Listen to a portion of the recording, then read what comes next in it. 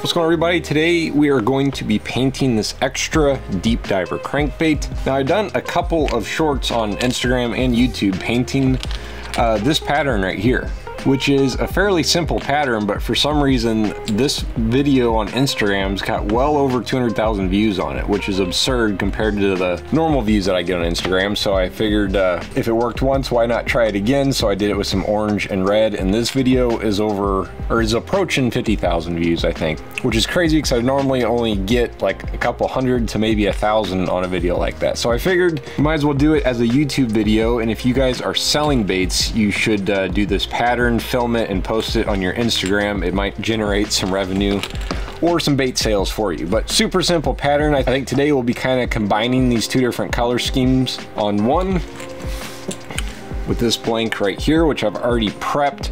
And the colors that we're going to be using today are all iridescent. We're going to be doing the turquoise, an iridescent violet, and an iridescent fuchsia and then uh, some transparent black. I don't have any iridescent black.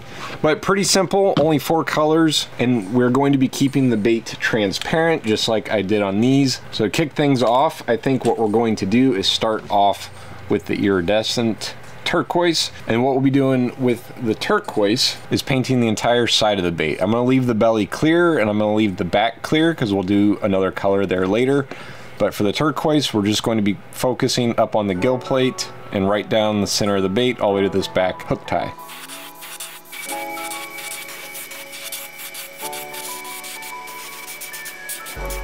And it's kind of hard to tell because the bait's transparent so there's a lot of blue happening there but I decided to go ahead and try on this one covering the front of the head in the blue as well and then we'll probably be able to fade our top color into that later. I'm going to hit this with a hair dryer and then we'll move on to our next color.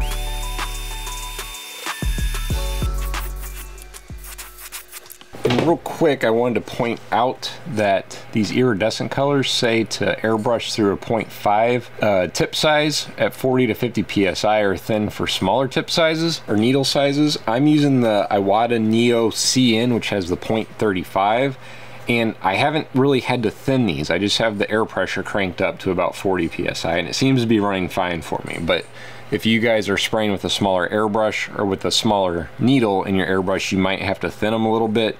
Or if you're having any issues at all, thinning them uh, never hurts. And for thinner, you can use some 40 uh, 11 reducer and that usually does a trick. For when I'm doing just one bait like this, I'll just kind of mix it in the cup of the airbrush and that seems to be working just fine for me. If I was doing a whole bunch, I would probably thin them in a smaller bottle or something like that.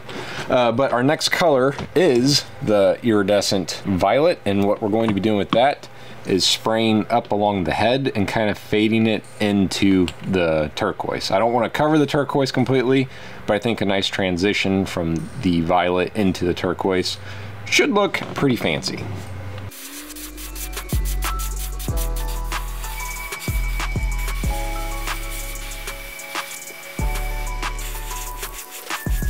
And I decided I'm gonna go ahead and hit it a little bit right back here by the back uh, hook tie. Okay, next up we're going to be spraying the iridescent fuchsia and the game plan here is whatever's still clear on the back of the bait is going to get a nice layer in that and then we will go ahead and carry it right down the center of the top of the bait here covering some of that iridescent purple from earlier but we'll try to leave right around the eyes. We'll try to leave that all purple and that turquoise. So keeping the fuchsia primarily on the back of the bait but letting it cover some of the purple up on the front and on the back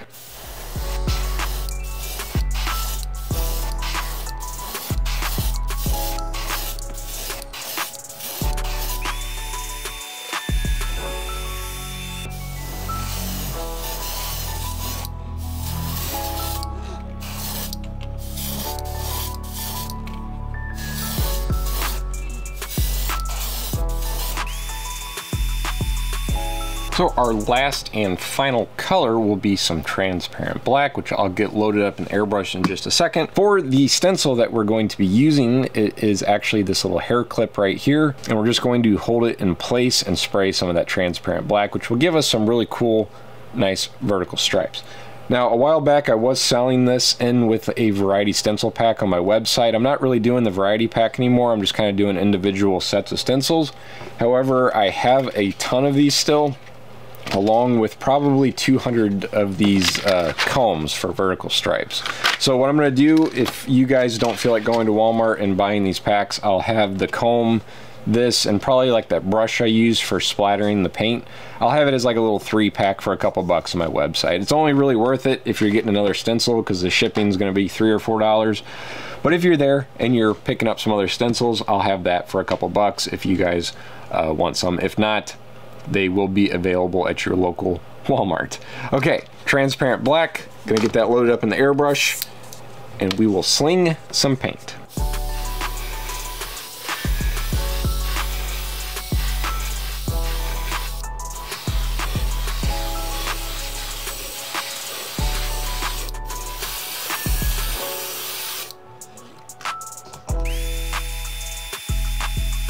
And for the back of the bait, I'm just going to hold in place a nice little netting.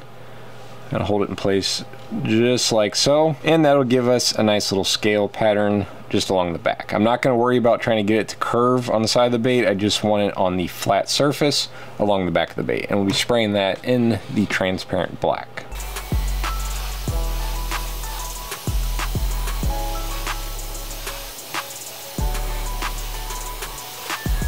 And there we go. Nice scale pattern on the back of the bait and some nice vertical stripes on both sides. Hit it with the hair dryer and then we will pick out some eyes. For the eyes, I think we are going to go with these blue ones. I think they match the color scheme the best. Or should I do these? Yeah, no, we're gonna go with the blue ones because I know the blue or turquoise matches the turquoise on the bait. Whoop. That was a little, a little heavy on the glue there.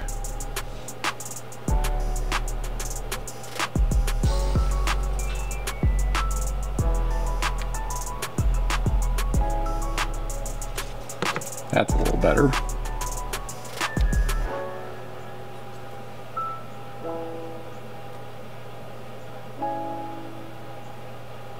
And there we go, probably the easiest to do, craziest looking lure painting pattern. I don't know if I'd mentioned at the beginning of the video, but I will have this blank linked in the description below if you guys want to get some for yourself.